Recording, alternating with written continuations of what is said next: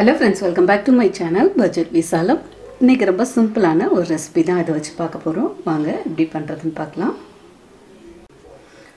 Mixie jar எடுத்துக்கலாம். இதில் வந்து ஒரு நாலு காஞ்ச மிளகா ஒரு மூணு பல்லு பூண்டு ஒரு ரெண்டு டீஸ்பூன் அளவுக்கு அரிசி மாவு சேர்த்துக்கலாம். இப்போ இதை வந்து தண்ணி விட்டு கொஞ்சம் அரைச்சி எடுத்துக்கலாம். நீங்கள் இதில் மிளகாத்தூள் எல்லாம் பொடியாக இருந்ததுன்னா பொடியாகவும் சேர்த்துக்கலாம். நான் கொஞ்சம் அரைச்சி சேர்த்தா டேஸ்ட் நல்லாயிருக்குங்கிறனால அரைச்சி சேர்த்துக்கிறேன். இப்போ இதை அரைச்சிட்டு வந்துடலாம். இப்போ இதை வந்து நல்லா அரைச்சாச்சு.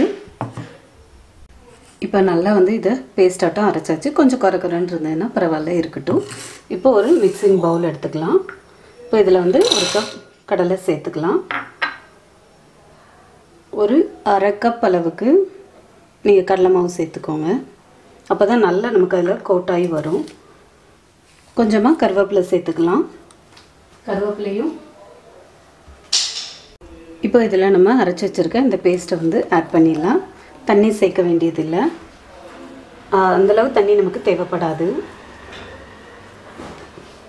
இப்போ இதை வந்து நல்லா மிக்ஸ் பண்ணி விட்டுக்கோங்க. இதில் வந்து ஒரு ஒரு பிஞ்ச் அளவுக்கு பெருங்காயத்தூள் சேர்த்துக்கோங்க. ஒரு முக்கால் டீஸ்பூன் அளவுக்கு வந்து உப்பு சேர்த்துக்கோங்க. இப்போ வந்து நல்லா லைட்டாக கொஞ்சம் தண்ணி ஆட் பண்ணிட்டு பசறி விட்டுக்கலாம். நம்ம எண்ணெயில் போடும்போது வந்து அந்த கடலை வந்து நல்லா அந்த கடலை மாவில் கோட்டாக இருக்கணும். தண்ணியை வந்து கொஞ்சம் கம்மியாகவே இருந்தாலும் பரவாயில்ல. இப்போ நல்லா மிக்ஸ் ஆகிடுச்சு நல்லா வந்து ஆயில் சூடானதுக்கு பிறகு இந்த மாதிரி எடுத்து வச்சுட்டு போட்டுருங்க. நல்லா ஃப்ரை ஆகட்டும்.